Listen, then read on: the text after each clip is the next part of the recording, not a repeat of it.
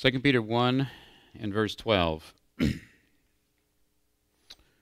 Wherefore I will not be negligent to put you always in remembrance of these things, though you know them, and be established in the present truth. Yea, I think it meet, as long as I am in this tabernacle, to stir you up by putting you in remembrance, knowing that shortly I must put off this my tabernacle, even as our Lord Jesus Christ hath showed me.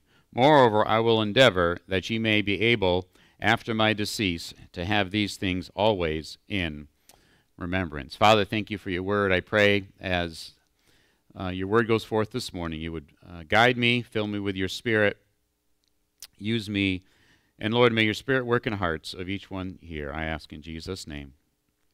Amen.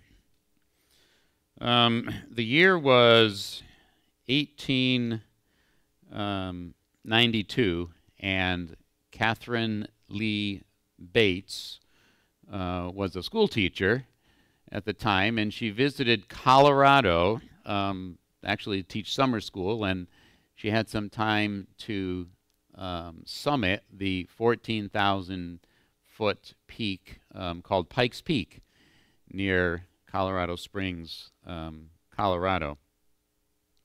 She actually, uh, when I read about it, they actually, there's a road up there now, but they actually got part of the way up, um, maybe by a railroad, and then they took mules the rest of the way uh, to get to the top. So it wasn't quite as easy back then.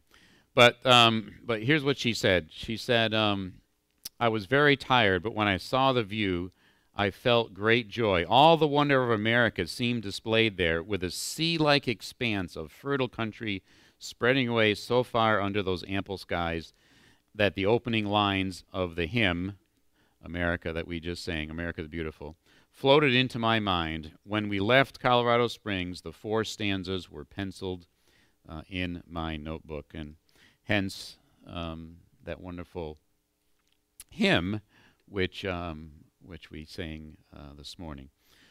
Uh, so, um, last Sunday was a great, great service. Um, you folks that were here last Sunday, it was a wonderful time to see Pastor Steve um, installed as Faith Bible Church's new pastor. Um, I actually missed the first Sunday he was here back in April. I was traveling at the time.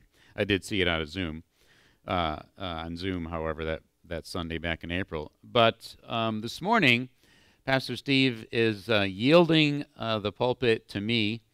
Uh, we spoke a little bit uh, during the week, and basically, out of abundance of caution, as he continues to recover from his um, health crisis last Sunday. And if you say, What health crisis are you talking about? Either you don't read emails as often, like I don't myself. Sometimes I'm three or four days behind. But, um, or you don't get the emails, or whatever. You just um, uh, don't know. Last Sunday uh, evening, and this is the this is the short version because there were emails that went out for several days or, or, or several times those couple days. But um, but Pastor spent the night in the hospital. His um, heart went into atrial fibrillation, AFib for short. Um, he was in and out of consciousness. He was rushed by ambulance to the hospital. Um, we prayed for him. Uh, Don was able to uh, go there and, and um, stay uh, that night. Um, so thank you, Don, for that. And I know a lot of you folks reached out to them uh, during the week. It was good that at the time they had family still here um, around, so to rally around them. But he was in overnight, and um, they released him on Monday. And after that, uh, he's been slow to recover. His heart rate is still high still an AFib, still gets um, winded, um, especially as you probably noticed, he was uh, sitting for, uh, when we were standing for the songs, he was sitting just to um, rest. He's not allowed to drive for, for a week, um, I think, maybe longer. But the good news is he's going to see his doctor on Tuesday. He's going to see a specialist, our specialist on Thursday. And uh, we trust that um, we'll be able to um, figure that out. So, uh, you're welcome to see him or see Kendra with any more questions. Though a few of you have talked to him this morning, but um, um, but imagine um, next Sunday, um, trusting that Pastor will be back in the pulpit next Sunday, that um, he tells you to open to Philippians chapter 1, and he preaches that same message he preached six weeks ago, back in April. And then the following week, he goes on to the next message that he preached uh, five weeks ago. And the next week, he preaches, you know, and he goes through those same five messages he preached from Philippians. He just repeats them over again um, in June.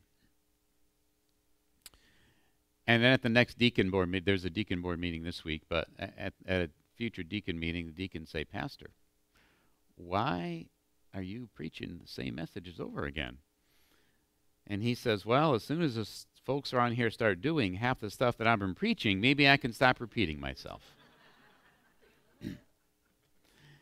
and in 1 Peter chapter 1,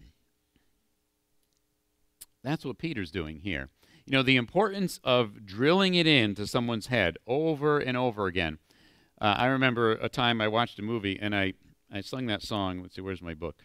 Um, I sang that song, America the Beautiful, this morning on purpose um, because we just got over our Memorial Day weekend and I wanted to just keep that theme going a little bit. By the way, um, Pastor um, Daryl last week, so many names, um, Pastor Daryl last week recognized the uh, veterans.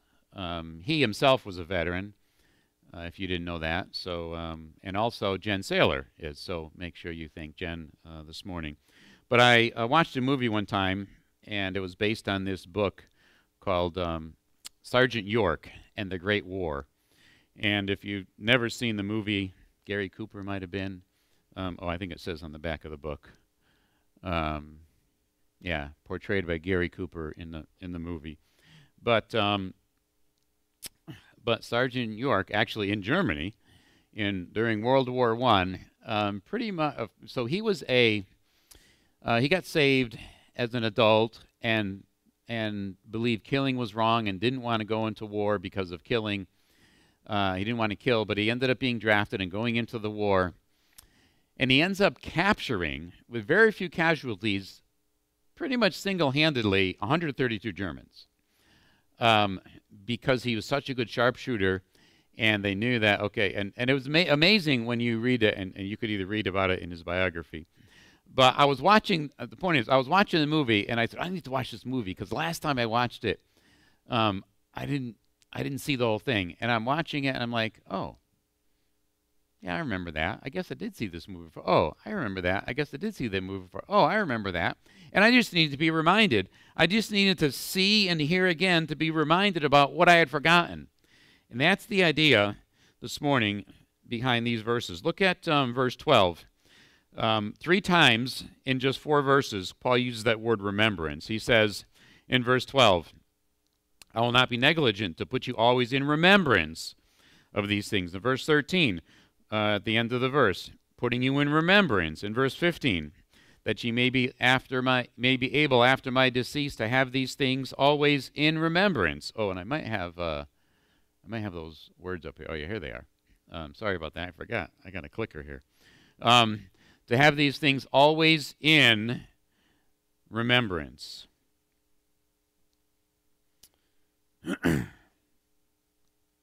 By the way, last weekend um, I was able to thank, um,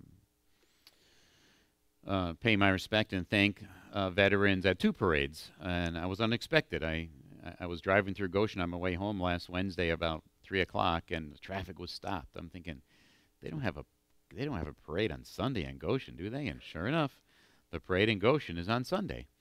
And uh, so I said, well, I'm going to find a place to park, and I'm going to get out. And just as the soldiers were walking by, I was able to, you know, uh, clap my hands for them. And uh, the parade in Goshen is um, not very long, but um, but let me tell you, it's longer than the one in East Hartland.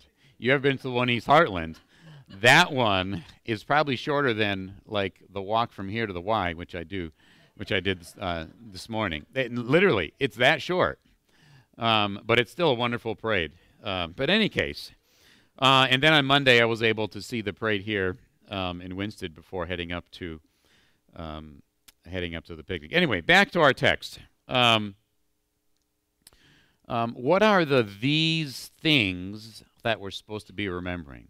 Right, that's the idea. Right? I, I, can say oh, you need to remember that. Well, Paul Peter's speaking about something specific.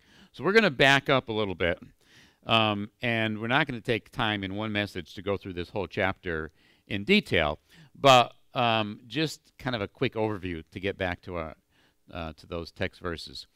So um, back to verse one. Uh, the Bible says, Simon Peter, a servant and an apostle of Jesus Christ, to them that have obtained like precious faith with us through the righteousness of God and our Savior Jesus Christ. And then he goes on to uh, give his um, kind of a uh, introduction to his to his book. But I love that phrase there that I have highlighted.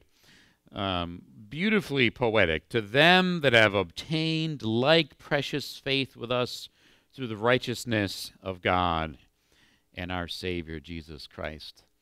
Boy, that's the most important question for you this morning. Have you obtained that like precious faith with us through the righteousness of God and our Savior Jesus Christ? If you're not sure of the, the answer, if you're not sure that God has saved you, then let His Spirit prick your heart. Let His love, let His grace uh, uh, uh, invade your soul.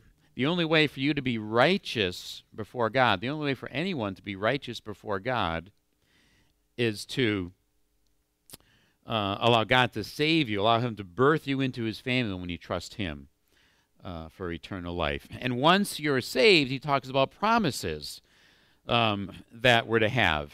And he, and, uh, well, let, let, me just read the verse. So he says, um, verse 4 Whereby are giving unto us exceeding great and precious promises, that by these we may be, might be partakers of the divine nature, having escaped the corrupt corruption that is in the world through lust. Then he goes on in verse 5. He says, Okay, once you have that saving faith, once you are saved, once you've trusted Jesus as your Savior, you need to um, um, do four things with it. He says you need to add some things to it. He talks about abounding. He talks about an absence of it, and then he talks about some actions, all leading up to our text verses about remembrance. So, what do I mean by that? So, he says, okay, first of all, I want you to add to your faith, verse 5. And he gives a list of things, and I, I could take. I could take a message in each one of these. So we're just going to look at the list. He says, add to your faith virtue, and then add to virtue knowledge, and then add to knowledge temperance, and add to temperance patience, and godliness, and brotherly kindness, and charity. He's saying, add all these things to your faith um, uh, virtue, moral. Um, moral power, vigor of the soul, knowledge, insight, understanding. Notice he puts the morality before the education. You know, vir- virtue, then knowledge, temperance, um, Self-control. You might your your uh, version may say self-control. Patience. Boy, do I need patience. Ask my Sunday school teacher. Uh, ask my oops. Ask my uh, Sunday school class this morning.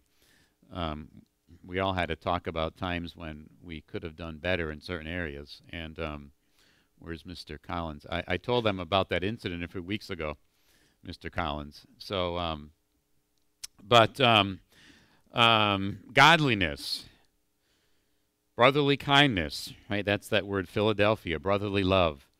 Um, and then uh, charity, which is what the King James uses often for that word agape, that love that God wants us all to have. So he says, add these things to your faith.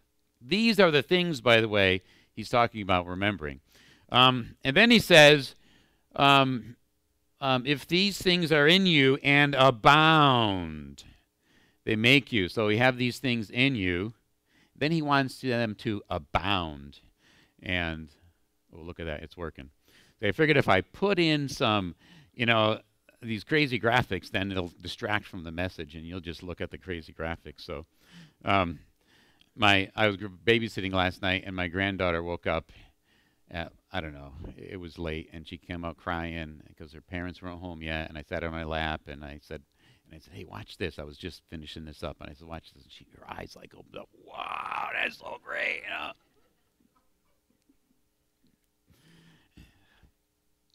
Um, the word abound. It means to, um, uh, 2 Thessalonians 1, 1 3, Paul wrote that your faith groweth exceedingly, and the charity of every one of you all toward each other aboundeth. It means to make more, to increase, to grow. He says he wants this virtue, knowledge, temperance, not just to be in you, but he wants it to abound in you.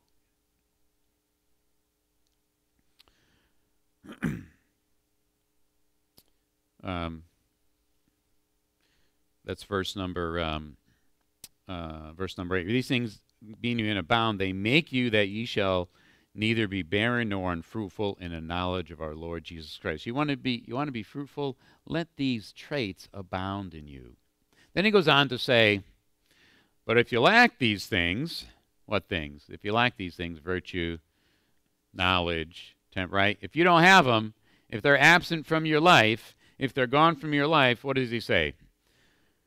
Verse number 9 But he that lacketh these things is blind and cannot see afar off, and for has forgotten that he was purged from his sin. So if you're lacking virtue, lacking knowledge, la- right, they're gone. Where are they?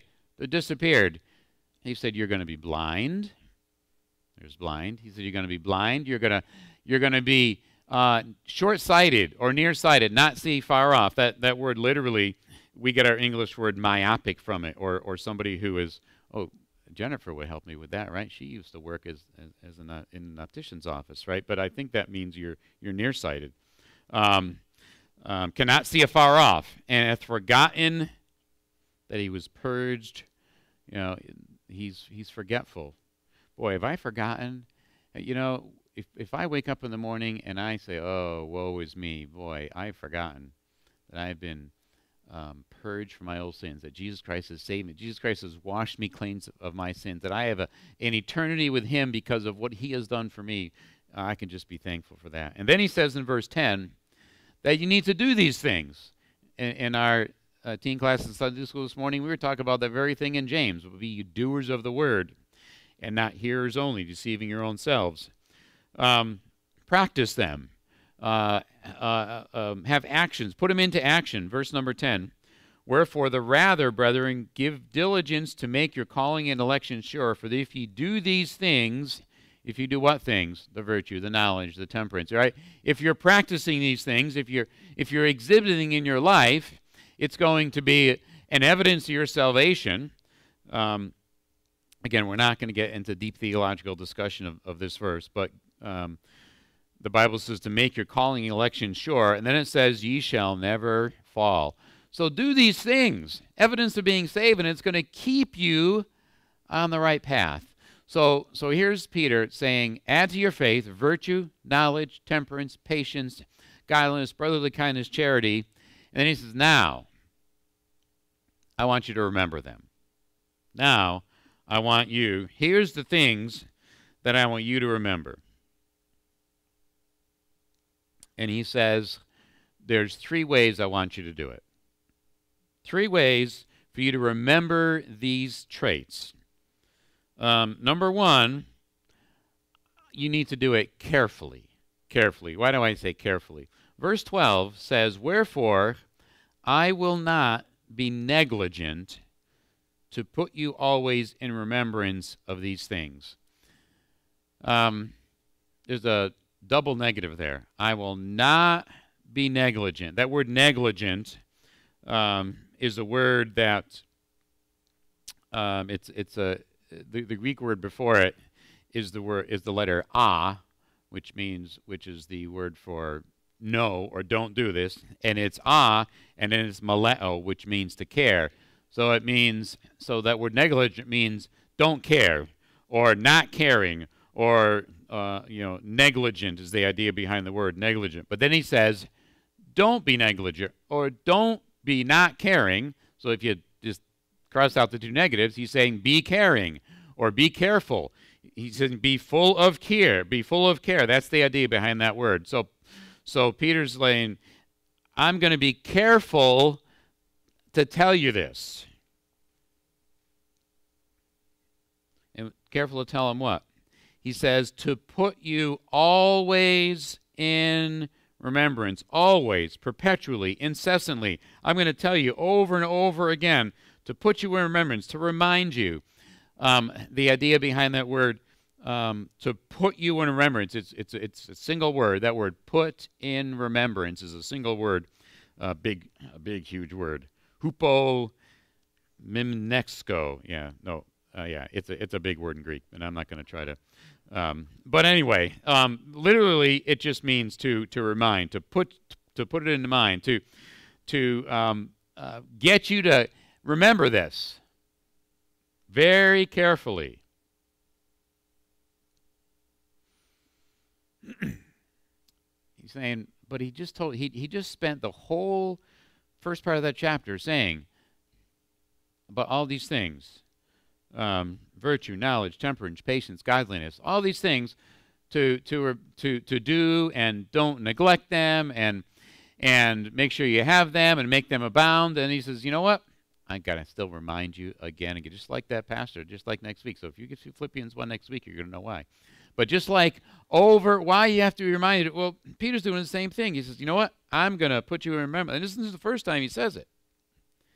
Because look at verse 13. He says, Yea, um, he kind of gets excited about it. He says, Yea, I think it meet, as long as I am in this tabernacle, to stir you up by putting you in remembrance, knowing that shortly I must put off this my tabernacle, even as our Lord Jesus Christ has showed me. So he's like, shortly I may not be around here anymore. So in the future, you know, I, right to my dying days, I'm gonna um, I, am going to stir you up. That word stir, it literally means um, to awake, to arise, to, to shake somebody and wake them up. Matthew 4 and 38, the Bible says, And he was in the hinder part of the ship, asleep on a pillow, and they awake him. That's the word stir. Can you imagine that? They're in the ship. This is the story when the when the whims were going and and there and Jesus is there sleeping in the ship. And the, can you imagine? Wake up! We're gonna perish. That's the idea behind that.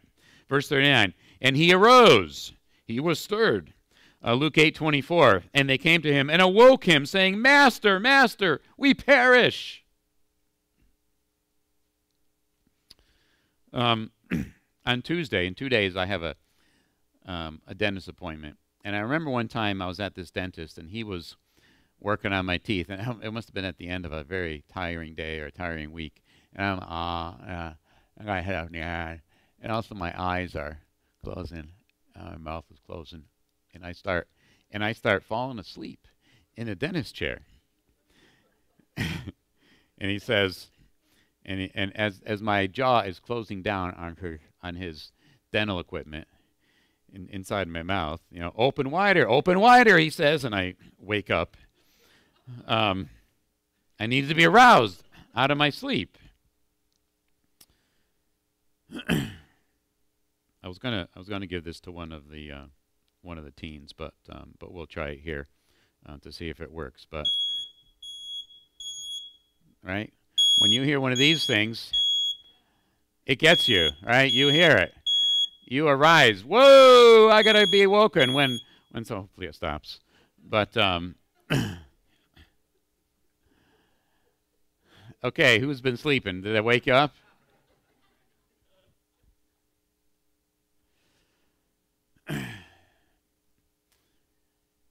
Peter says, I'm going to stir you up. I'm going to I'm, I'm going to shake you till you remember this. Yeah, think of me as long as I'm in, uh, uh as, as I'm in this tabernacle, verse 13, to stir you up, putting you in remembrance. And he says, Why? Because knowing that shortly I must put off this my tabernacle, I may not be around here to stir you any longer. So I'm going to stir you now while I can.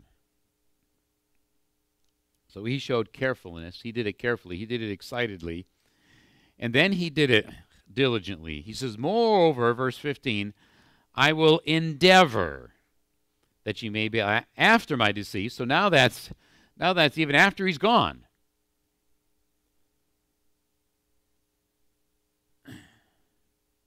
to have these things always in remembrance. That word endeavor. Um, uh, it's a word often translated diligence or diligent or to give diligence. So that's how I got the word diligently. We need to be we need to be diligent. And and and, and uh, Peter here he was he was telling them, you know what? I'm going to be diligent. I'm going to remind you over and over again. Even even after I'm gone, I'm going to remind you. And say, and how is Peter going to remind him after he's gone?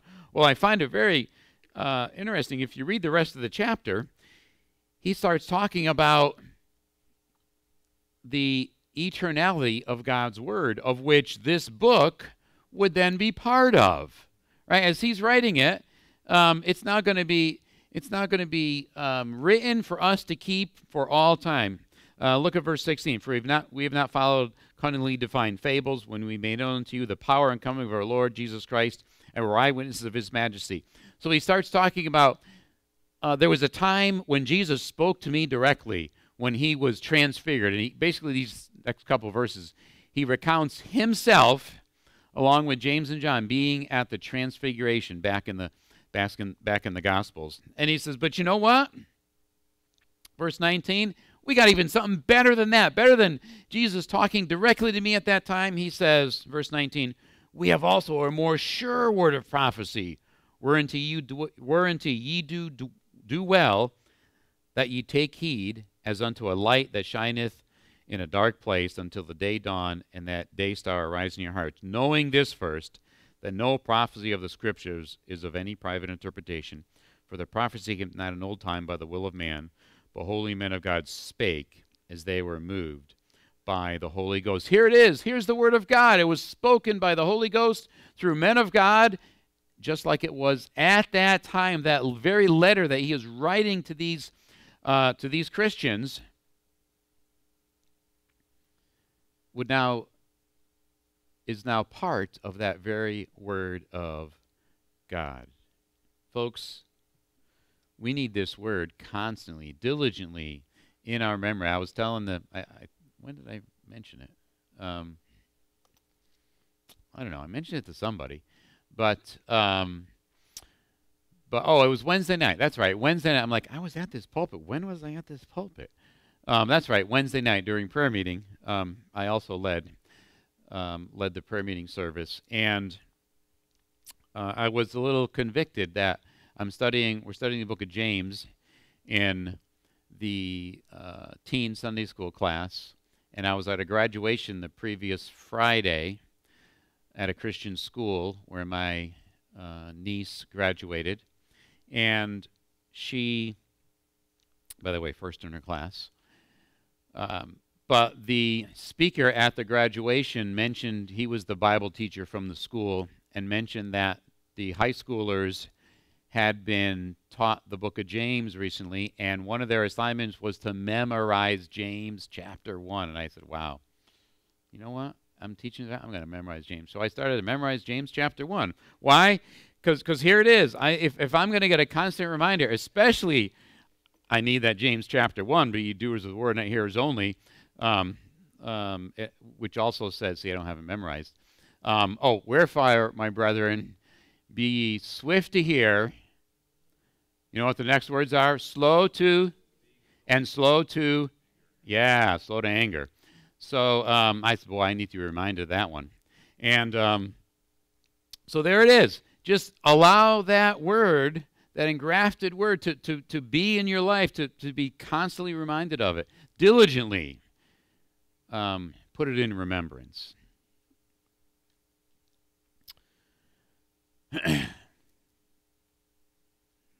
I started out the message um,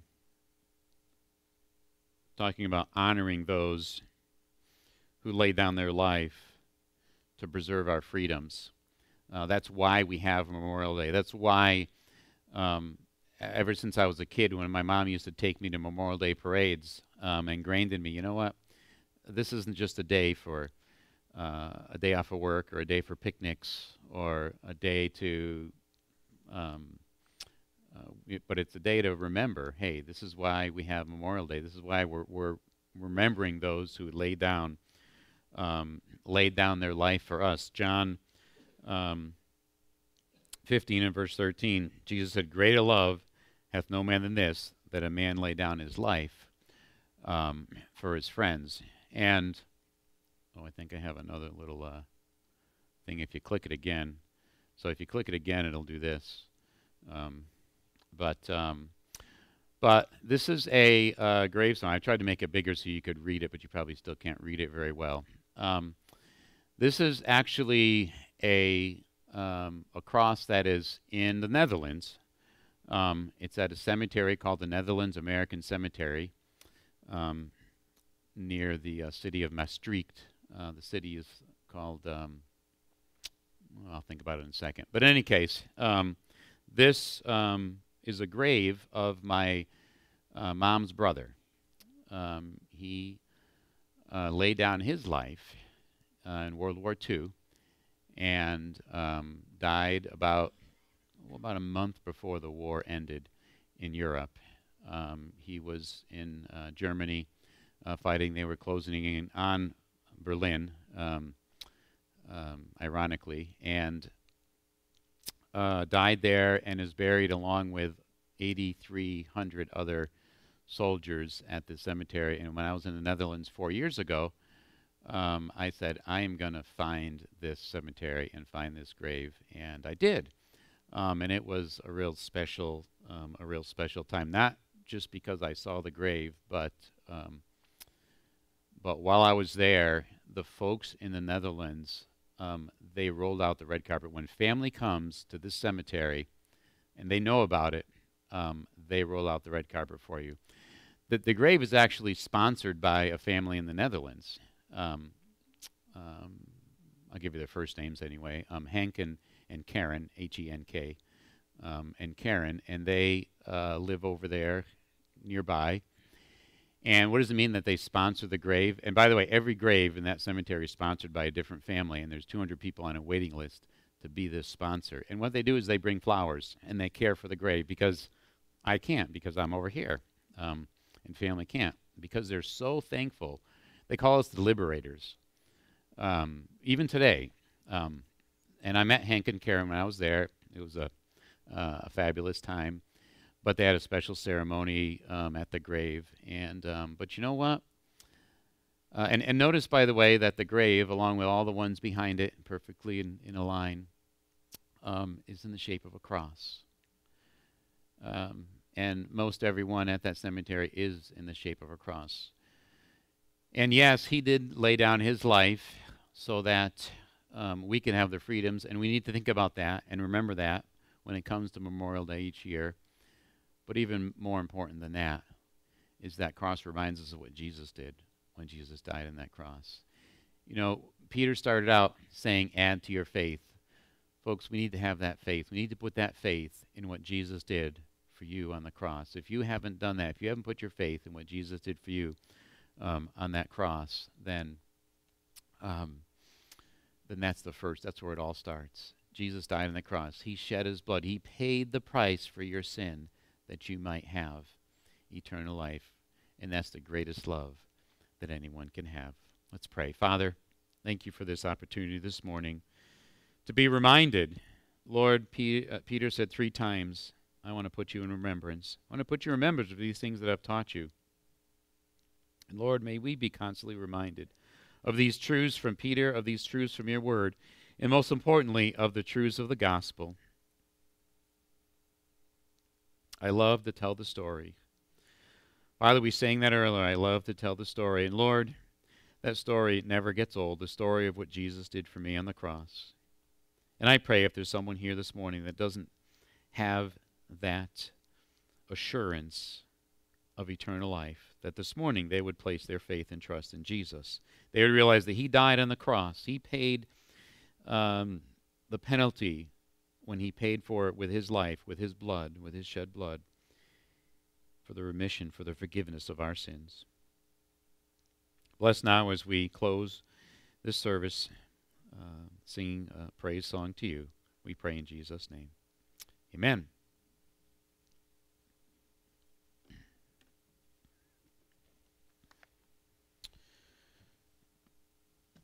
As Ryan makes his way to the piano, I'll ask you to stand and we will sing about those wonderful words. Uh, 270.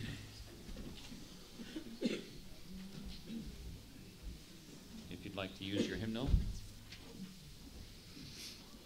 270 if you'd like to use your hymnal. Beautiful words, wonderful words of life.